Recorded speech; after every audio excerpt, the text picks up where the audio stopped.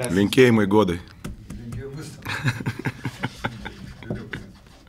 Tęsim spaudos konferenciją su Kauno Žalgirio vyriausiu treneriu Šarūnu Jasikevičiu.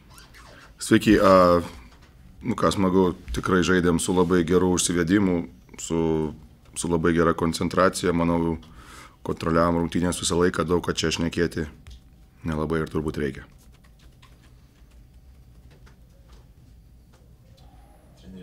Arturas Milaknis šmaikštavo Madride, kad e, grįžties į, į apšilimą su šiauliais, tai panašu, kad taip ir vyko. Aš, kaip aš sakiau, komandai jautėsi, kad komanda tikrai yra laiminga vėl gyventi ir, ir, ir aišku, dabar tai taip jokingai skamba, tada galbūt nelabai buvo jokinga, bet matosi, kad džiaugiasi gyvenimu vyrai. Kaip svarbu komandai išsilakstyti po, po tokios kelionės. Nu, tiek, kiek jie šventė, labai svarbu. E, Paulius Jankūnas paskutinį kartą rungtyniavo vasario pabaigoje, ar turit kokios naujos informacijos? Neturiu.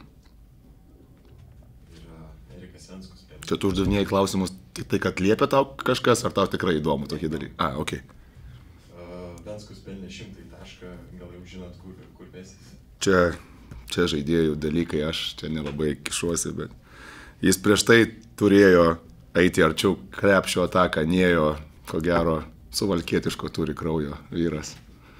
Bet paskui vis tiek jau, kaip sakant, sugrįžta viskas jam. Nežinau, čia, čia jų suši pirks, man atrodo. Ar visi žaidėjai šiandien žaidė dviženklį minučių skaičių, laukia įtemptas tvarkaraštis kažko panašaus laiko paskirstimo prasme galima laukti ir ateityje? Nu, Tai priklauso nuo situacijos, vis tiek norisi laimėti, nu, jeigu išeina visiems pasižaisti, tai, tai labai malonu, nu, sakau, e, kadangi čia dvi dienas nelabai galėjom sportuoti, dabar dėl tų visų įvykių norėjusi, kad šiandien žaidėjai kažkiek tai išsibėgiotų, kaip ir sakėm, a, rytoj vis tiek norim vėl duoti laisvą dieną, tai kažkiek tai reikėjo prasilakstyti ir, sakau, bandom dabar orientuotis irgi į, į, į ketvirtfinalį ir kažkaip e, bandom mąstyti, kaip ir palisėti ir paskui užsikrauti, kad būtų neblogos formos. Nerungtyniavo nei tas Waltersas, davė palisėti ar kažkokios... Angina jam, angina kažkokiam, su gerklė jau problemos biški ir Madridė buvo, tai šiandien sakė atsikėlė dar prašiau, tai nebuvo, nebuvo tikslo uh, rizikuotai, liko namuose, tikėsimos, kad tik angina. Labas vakaras. Pasakiau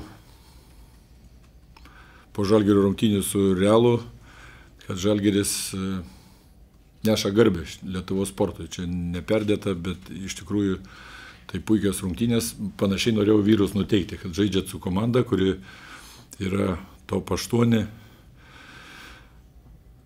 labai geroje formoje dabar ir, sakau, prieš tokią komandą yra žaisti garbė nu, gal čia netiek padėjo,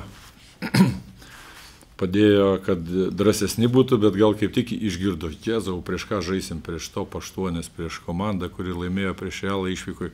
Galbūt, nežinau. Mano, mano akimis labai trūko man vyrų tokio laisvumo, nors aš norėjau įnešti, sakiau, kad jūs nebe, negalvokite apie kažką tai kitą, jūs galvokit, kaip jūs galit ūktelt, rodžiau taip rūviniai, nors centimetrų, nors milimetrų ūktelt, meistriškumu kažką išmokti, kažką padaryti, kažką gero. Tai pritrūkau ir tos drąsos, ir, ir to tokio laisvo žaidimo, ir, ir, ir galų gale kovos vyriškos. Negali ten imti kamuolius, kas nori, ir nežiūrint į ūgius. Tai esu šiek tiek nepatenkintas, bet gal paskui jie supras. Prieš ką žaidė, tai